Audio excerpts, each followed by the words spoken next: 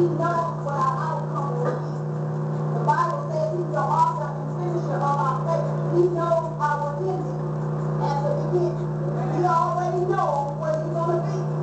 Every time you go to a funeral, you see what year they were born, and then you see what year they died. In between is the dash. Now how you live in that dash is up to you. You may want to live it the positive way.